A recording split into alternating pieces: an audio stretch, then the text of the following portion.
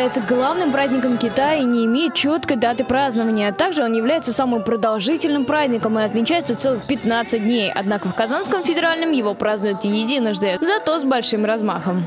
Все студенты, которые находятся в городе Казани, китайские студенты, они собираются в одном месте, чтобы вместе отпраздновать вот этот праздник. У нас в Казанском университете учатся 640 китайских студентов.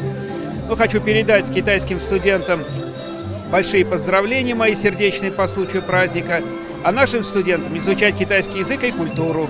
Изучить культуру китайского народа в этот праздничный вечер могли все, ведь здесь собрались не только китайские студенты КФУ, гости вечера, но и китайские ученики гимназии Казани. Праздник весны здесь встретили не только традиционным танцем любви и представлением восточных единоборств с использованием нунчаков, но и китайской песней. Кстати, вместе с вокалисткой из КНР ее исполнил русский студент. Такое уважение к китайской культуре сорвало шквал бурных аплодисментов.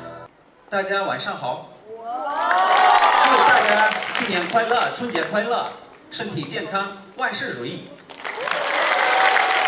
В этом году китайский Новый год в Униксе принес много сюрпризов. Студенты разыграли на сцене настоящий китайский КВН. Хотя язык миниатюры о грустном и смешном многим был непонятен, эмоции КВНщиков считывались с легкостью.